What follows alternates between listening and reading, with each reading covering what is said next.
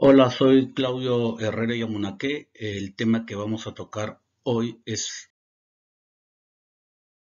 con respecto a la NIC 2 inventarios.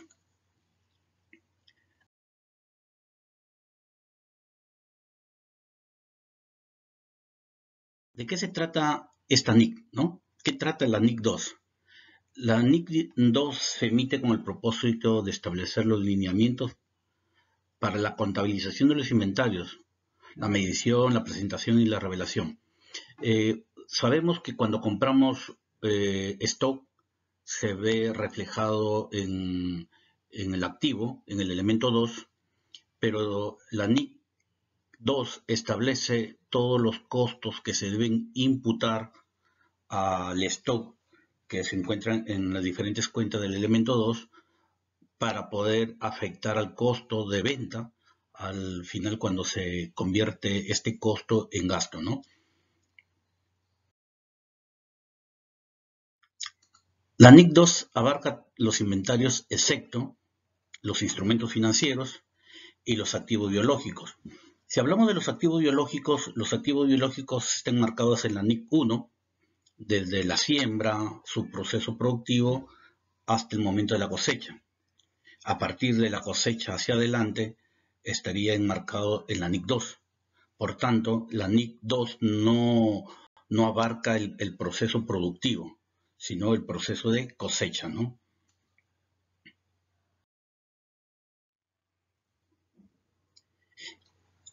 Entonces partimos primero de que, qué es un inventario. Un inventario, según eh, la NIC 2, es un bien adquirido para ser vendido en las operaciones normales de la entidad. Es un bien tangible o intangible en un proceso de producción para ser vendido cuando se encuentre terminado. ¿no? O material de suministro para ser utilizado en el proceso productivo. Em, eh, viendo desde el punto de vista del tipo de empresa, ¿no? si es una empresa comercializadora, compra un bien para vender un bien. Pero si hablamos de una empresa en un proceso de producción, estaremos hablando de de la compra de la materia prima y las diferentes fases y procesos para llegar al producto terminado.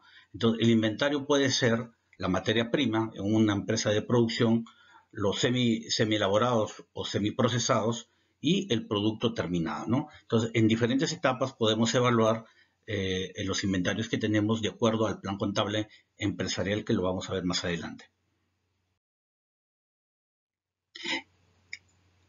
También es un inventario los bienes comprados y almacenados para su reventa.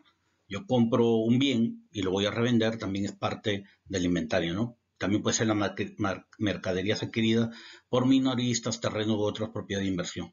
También los productos terminados en un proceso productivo, ¿no? Supongamos que para una línea de producción termina un proceso de producción y pasa a la siguiente línea de producción como un producto eh, para, para, una línea producto terminado y para la otra línea como una materia prima, ¿no? Y los materiales y suministros utilizados para el proceso productivo, dependiendo del tipo de empresa del, del cual estemos hablando, ¿no?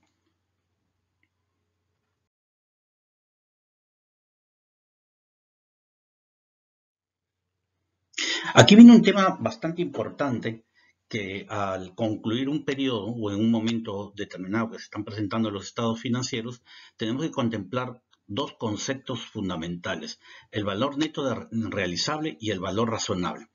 ¿Qué entendemos por el valor neto eh, realizable?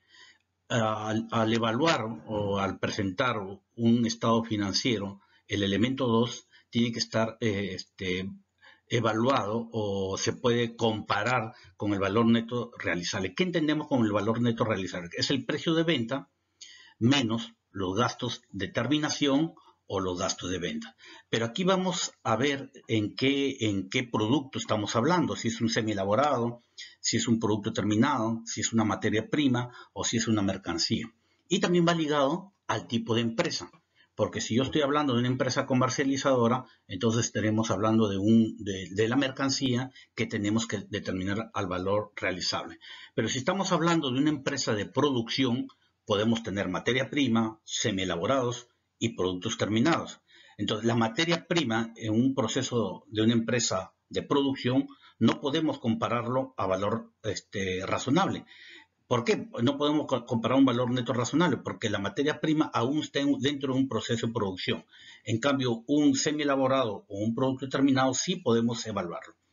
¿Y qué entendemos por el valor razonable? El valor razonable es el precio que se recibe por vender un activo o que se, pagará por transferir un pasivo. O sea, es un mutuo acuerdo de dos personas, ¿no?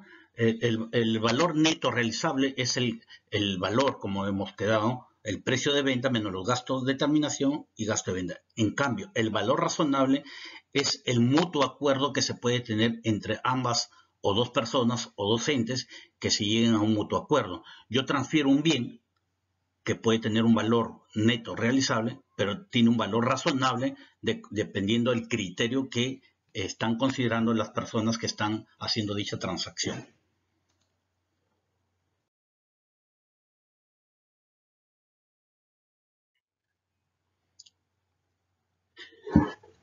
El precio de venta estimado. ¿Cómo entendemos el precio de venta estimado? Tenemos los, los costos estimados para su terminación, si es que estamos en un proceso productivo, faltarían los, materiales que se le tienen que añadir, la mano de obra directa, el transporte de materiales, la depreciación y los costos estimados necesarios para su venta, cuáles pueden ser las comisiones, la publicidad, los descuentos, X cosas que pueden estar ligados a los costos estimados para su venta.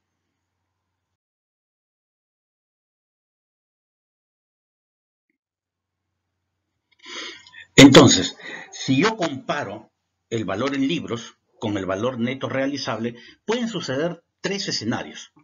Que el costo que eh, refleje en libros tenga el mismo valor neto realizable. Por lo tanto, si el costo que yo tengo en mi stock es igual al costo neto realizable, no se hace ningún ajuste, ninguna, ninguna este, provisión respectiva.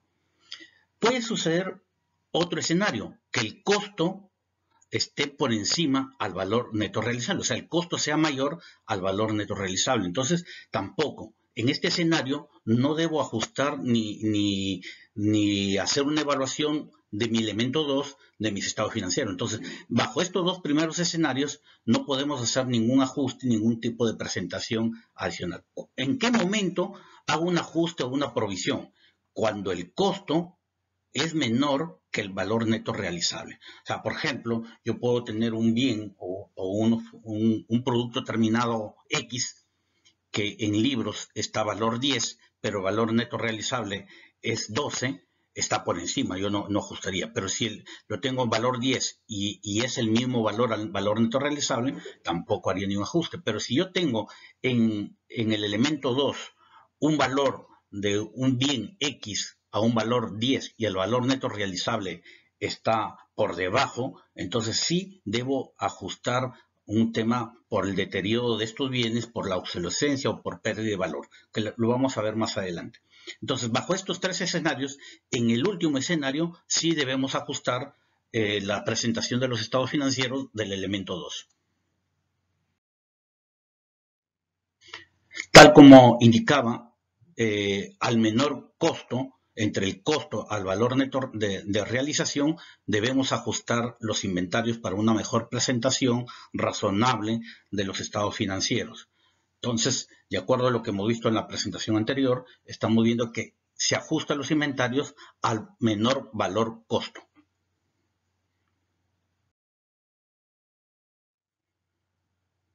Entonces, la medición es el menor, el menor entre el costo, pero el costo tenemos ¿Cuál, es el costo para nosotros? El costo es el costo de la compra más los costos de conversión o costos incurridos.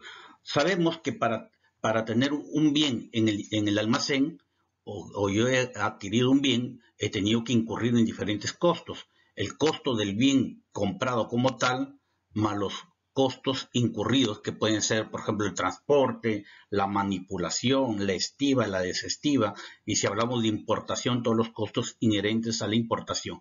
Esos costos se deben comparar con el valor neto de, realizable a precio de venta estimado, que son los costos estimados de terminación o los costos del producto terminado. ¿no? Supongamos que esté un, un producto en un proceso de, de producción, tengo que estimar cuánto va a costar terminar ese producto y lo debo comparar entre el costo de compra o el costo final con el costo de terminación. El menor costo se debe presentar en los estados financieros.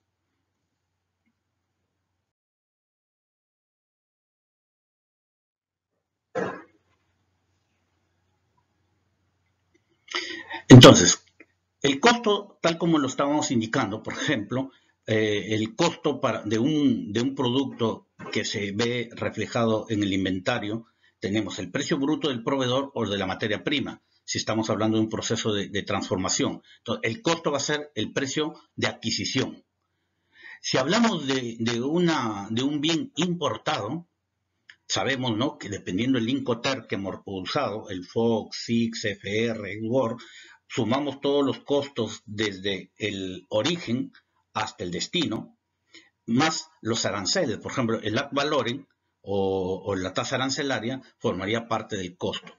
Y los impuestos tipo el IGB, eh, el impuesto de promoción municipal, la percepción, esos sí son recuperables o, o compensables, ¿no? Por lo tanto, no serían costos. Entonces, en el caso de una importación, se le añade al costo de la materia prima los costos necesarios o los aranceles que se pagaban de la importación para llegar al destino luego los transportes de materia prima o instalación y si hubiera algún descuento comercial o rebaja. Por lo tanto, la suma de todos estos conceptos tendríamos los costos de compra. Si estamos hablando de un, proceso de producción, eh, estaríamos hablando con los costos de conversión, que son los costos relacionados con las unidades de producción y los costos indirectos de productos fijos y variables. Y aquí hay un pequeño gran problema, ¿no? Los costos variables son fáciles de identificar, son fáciles de imputar, pero donde vamos a tener un pequeño gran problema va a ser con los, con los costos fijos, que lo vamos a ver a medida que lo vamos a ir desarrollando, ¿no? Y hay otros conceptos de costos que son necesarios para llevar al inventario, ¿no? Que son las condiciones, ubicaciones, almacenamiento y otros costos. Estos son básicamente los costos que está contemplado en la NIC 2, ¿no?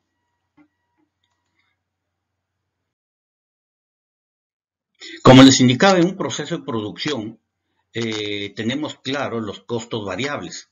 Los costos variables están ligados al proceso eh, de producción. O sea, produzco más, más costos variables tengo pero los costos fijos, como su nombre lo indica, son fijos y como el criterio de la distribución en el proceso productivo. Entonces, sabemos básicamente cuáles son los costos necesarios en un proceso productivo y aquí tenemos un, un tema que debemos analizarlo y considerarlo.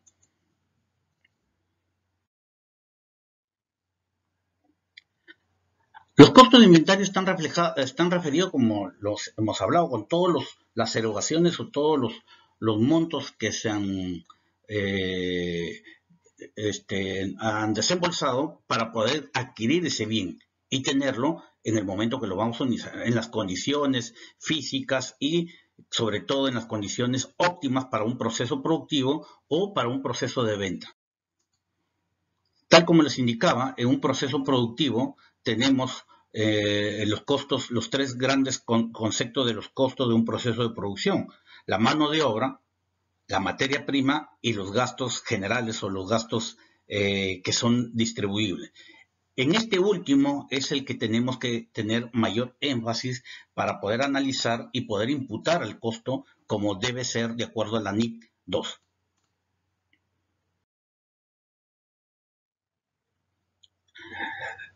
Vamos aterrizando un poco en los costos indirectos de fabricación.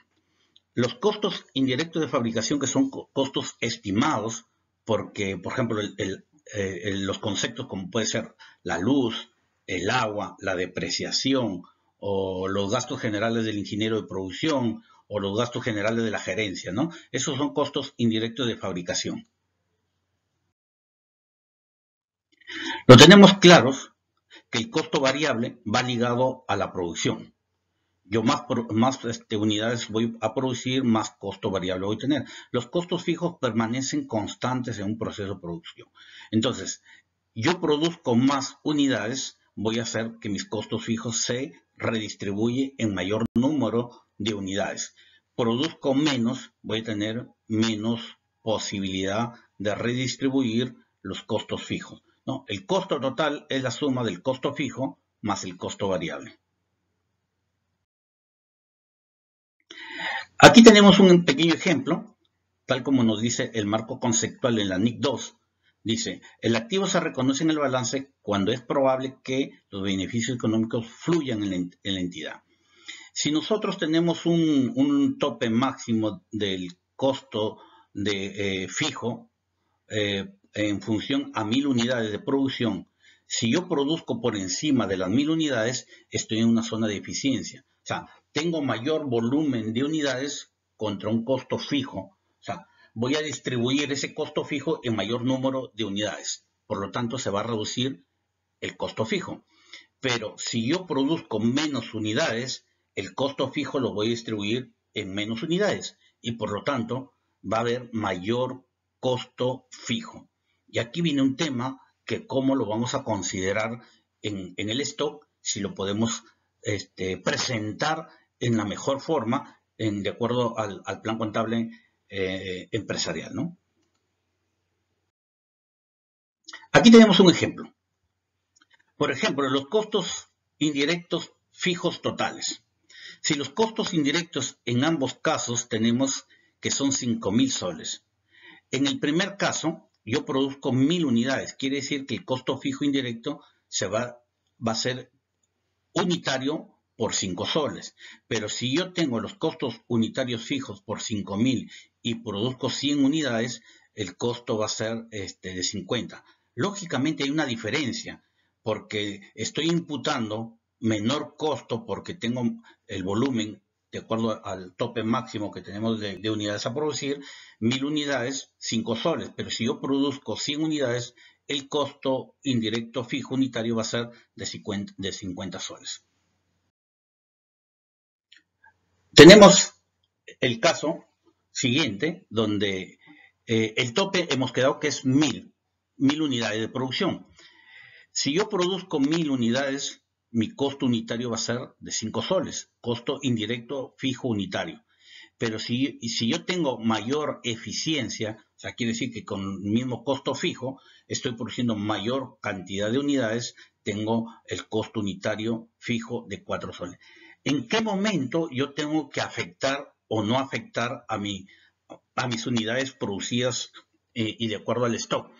En el primer caso, como lo tenemos acá, eh, estaríamos hablando de un costo de ineficiencia, ¿no? Pero en el segundo caso, estaríamos hablando de un costo, un costo de, mayor rendimiento. En el costo de en eficiencia o, costo que soy, no soy eficiente, tengo que afectar no al stock, sino al costo de producción, ¿no? el costo no absorbido por la baja demanda de productos terminados, ¿no? el costo eh, indirecto fijo unitario de la con la capacidad normal. ¿no? Si yo tenía una capacidad de, de, mil y he producido menos cantidad, tengo un costo de en eficiencia, no soy, no soy eficiente. Por lo tanto, tengo que afectar directamente al, al costo, del, al, gasto directamente de los resultados, más no al producto ¿no? y no al stock.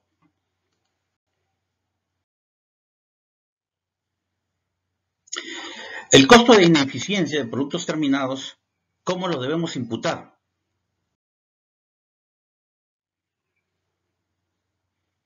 De acuerdo al tratamiento tributario, la distribución de los costos fijos lo indica pues que son los costos necesarios para lograr un producto terminado, ¿no? Pero si estamos hablando que eh, la, ineficiencia o la, la, baja capacidad de producción, no podemos absorber todo el costo. Han sucedido últimamente por el tema de la paralización de un proceso de producción, sobre todo por, por el tema de pandemias o por tema de baja demanda, entonces, ese costo no lo puedo imputar al producto terminado, sino tengo que afectarlo directamente al resultado. Luego tenemos los coproductos y subproductos. En todo proceso de producción existen coproductos o subproductos. Por ejemplo, yo estoy este, eh, produciendo, a ver, vamos a ver el ejemplo aquí, estoy produciendo, por ejemplo, bebidas gaseosas eh, supongamos estoy produciendo frugos, y se aprovecha dentro del proceso de producción de, sacar un jugo de naranja y puedo sacar de piña o de mango. Entonces son coproductos. El producto principal puede ser que la fórmula mágica que yo estoy procesando saque el, jugo de, piña al, 80% y, y, el 20% restante por ciento son coproductos que pueden ser de mango, melocotón o otros este, coproductos, ¿no? Eso también es parte del proceso de producción, ¿no? Y cómo voy a imputar, ¿no? Ahí tengo que tener el criterio de cómo voy a afectar el costo al producto principal y cómo voy a afectar a los productos o coproductos, ¿no? Entonces tendría que tener el criterio de acuerdo a que al volumen de producción, si el 80% de mi producción es el producto principal y el 20% es coproductos, tendré que aplicar el criterio de, la, de, aplicar los costos indirectos al 20% a esos subproductos o coproductos, ¿no? Hablamos también de ejemplos de subproductos o, o recortes o desechos, ¿no? Que pueden servir Mm, este desecho o este desperdicio para un nuevo reproceso de producción. Por ejemplo, si yo estoy este, produciendo un tema de plásticos, va a haber recortes y desechos que se quedan como subproducto. Eso también tiene un costo. Si estoy hablando de un proceso de producción, por ejemplo, de, hidrobiológicos, si estoy haciendo, por ejemplo, un producto, la pota, que es muy conocido, estoy, este, ese calamar gigante, estoy sacando anillas de calamar o este, estoy sacando botones de calamar. Pero llega un momento que quedan esos recortes. Esos recortes o subproductos o, este, eh, retazos que van quedando de, la pieza principal no se desecha, se, reutiliza. También tenemos que tener una forma de cómo valorizar esos subproductos y va a quedar reflejado en, la presentación de los estados financieros, porque esos subproductos o desechos sirven para un proceso de producción más adelante, ¿no?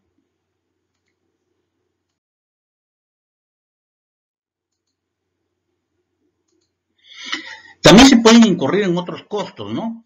Tenemos otros costos dependiendo del tipo de, la entidad, costos de las sucursales en las provincias, costos de importaciones que ya hemos visto, las, importaciones pueden suceder en un, tema normal, pero pueden suceder que, ocurra un, ciclón en Centroamérica y el, el, barco en lugar de llegar a, a, 20 días llegó a 30 días, o llega el, barco al puerto y resulta que en el puerto están de fiesta y quedan dos o tres días, entonces va a haber unas sobreestadías, unos costos que se van a ocasionar que no estaban previstos, ¿no? Costo de transporte, fletes y otros conceptos que pueden afectar el costo de producción. Todos estos costos se tienen que sumar y considerar a la hora de valorizar mi stock o mi inventario, ¿no? Entonces yo no, no, eh, estos costos que se van incurriendo eh, se le puede considerar dentro del plan contable como otros costos vinculados a la compra que va directamente afectando al, al, elemento 2, que es el, el, tema del stock, ¿no?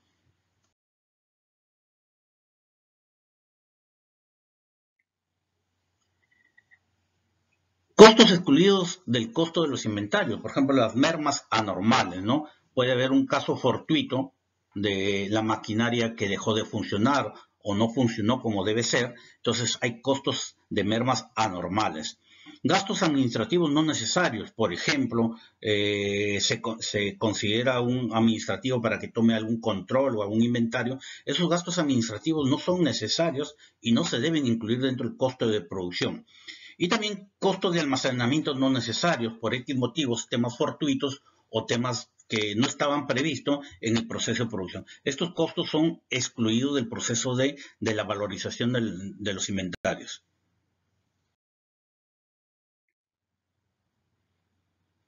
Los costos financieros.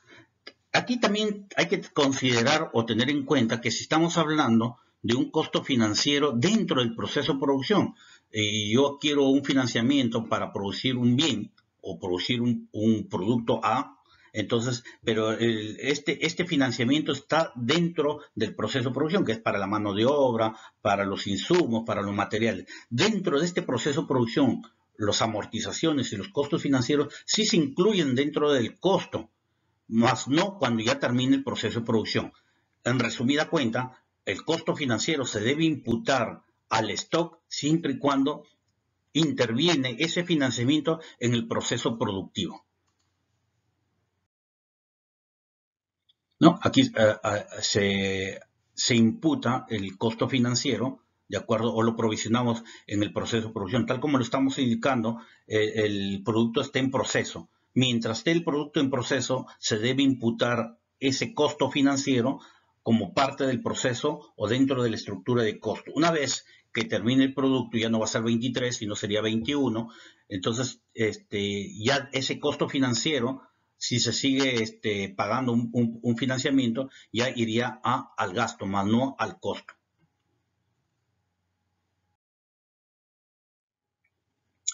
La técnica de medición de costos.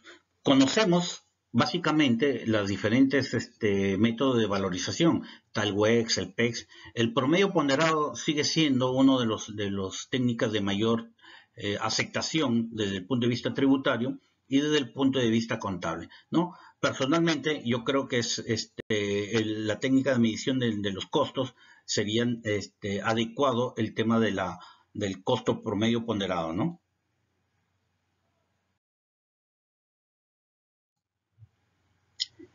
¿En qué momento la NIC requiere que se rebaje el costo del valor neto de, realización? ¿no? Cuando los inventarios se encuentren dañados, ¿no? Supongamos que yo tengo en, el elemento 2 un stock que no lo voy a vender porque se encuentra dañado, tengo dos alternativas. Si no sirve o está ya está para destruirlo, sigo el procedimiento tributario que me indica y hago la destrucción, pero tendría que bajarlo del inventario. Por obsolescencia, parcial o total, si lo voy a recuperar algo del costo o no. Por eso que tengo que ajustar mi valor neto realizado. Por la caída de sus precios en el mercado. Por ejemplo, yo tengo un bien que hasta antes del 31 de diciembre tenía un valor eh, bastante atractivo, pero pasa el siguiente año y su valor cae, ¿no? Entonces, que puede ser, por ejemplo, tipo un commodity o tipo, por ejemplo, el petróleo, que al 31 de diciembre tenía un valor y el próximo año baja el valor, entonces tendré que reducir mi valor neto de realización en mi stock, ¿no? Cuando los costos estimados para su terminación o su venta han aumentado. Sucede que tengo un producto semi-elaborado, semi-procesado, pero este, no lo voy a poder concluir o han aumentado mis costos. Tengo que ajustar mi valor neto de realización.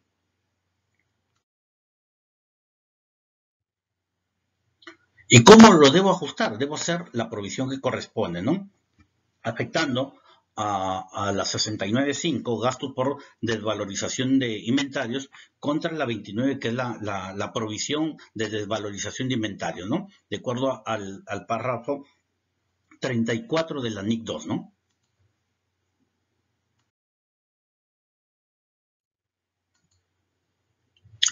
Aquí incurre también cuando el, valor neto de realización puede alcanzar a un importe cero. ¿En qué momento sucede eso?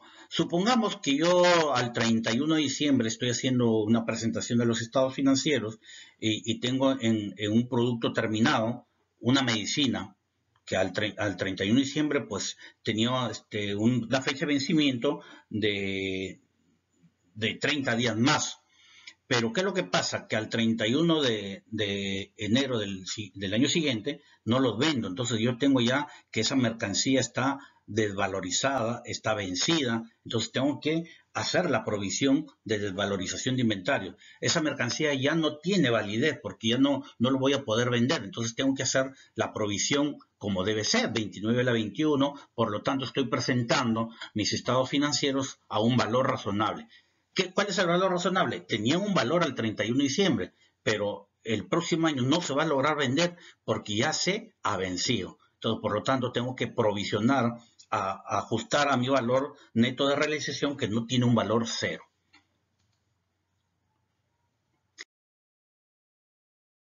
¿Y qué sucede? Supongamos que yo tengo este, un producto que no va a ser la, la medicina, que yo lo tengo a un valor cero porque no lo voy a vender, pero resulta que alguien lo va a comprar como, lo puede comprar como chatarra o como un, X producto, ¿no? Entonces tengo que considerarlo un costo eh, este, de recuperación porque ese producto sí lo estoy vendiendo, ¿no? Eso es un caso de inventarios que se rebajan quedando un importe el costo cero y estos se vendieron el modelo del asiento contable sería tal como lo estoy indicando, porque este producto sí va a afectar al costo de venta, ¿no? Eh, pero tengo que aplicar la desvalorización del inventario, tengo que extornar la desvalorización inventario y afectar al costo por la diferencia del valor que lo estoy este, vendiendo, ¿no?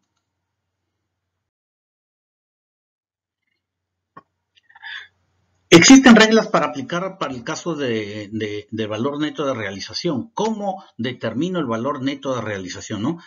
Eh, la estimación para el valor neto de realización se realiza por cada partida diferente de los inventarios. Tal como los estaba indicando, yo no puedo evaluar o, revisar o ajustar mi valor neto realización todos los elementos del plan contable, del elemento 2, porque tengo que ver si es una empresa de producción, en qué etapa está el, producto semi-elaborado.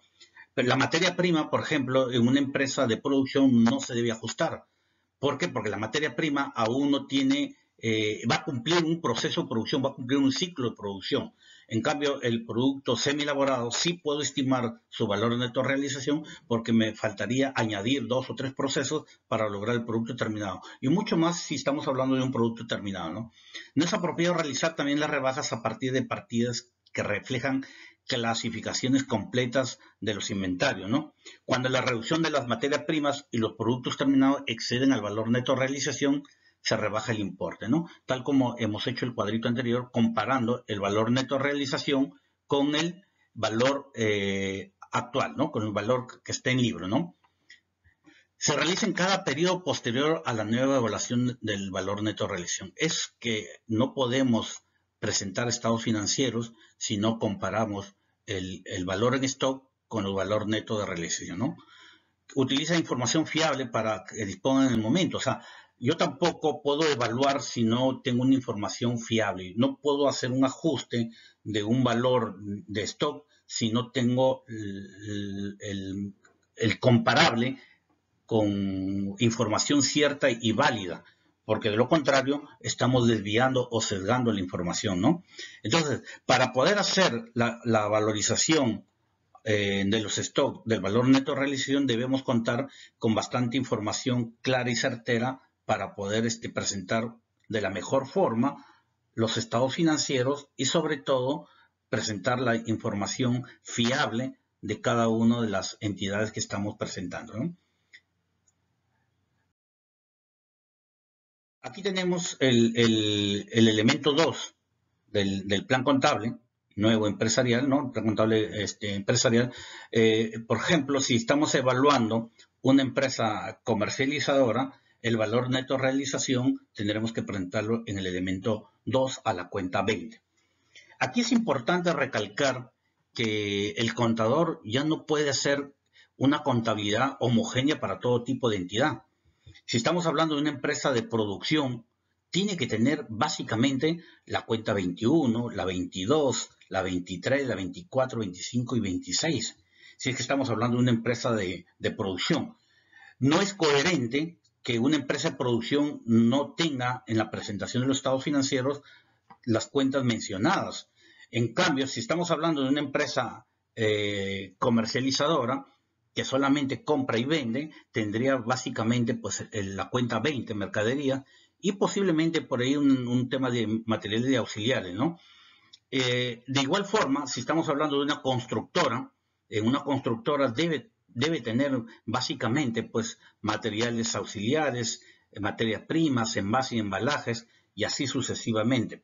En el caso de, la cuenta 27, eh, puede suceder en, empresas que están vendiendo activos fijos y que lo tienen para la venta, igual tiene que hacer el análisis del activo eh, que lo trasladan para vender, si su valor en libros está acorde al valor neto de realización o de lo contrario tendrían que hacer el ajuste. Si está por debajo, pero aquí sí hay un tema bastante interesante, no, no tiene el tratamiento similar de las cuentas 20 a la 26, sino también en el tema de, la cuenta 27, si el activo puesto para la venta está por debajo, tendría que afectar al gasto.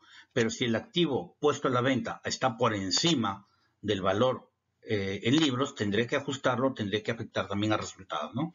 Los inventarios por recibir, si es que sucede, por ejemplo, el tema de una importación y, ver el valor estimado que tenemos para el ingreso a los almacenes, ¿no? Y la desvalorización de inventario que hemos visto el, uso de la cuenta 29 para poder ajustar la presentación de los estados financieros a valor neto eh, realizable, ¿no? Bueno, eh,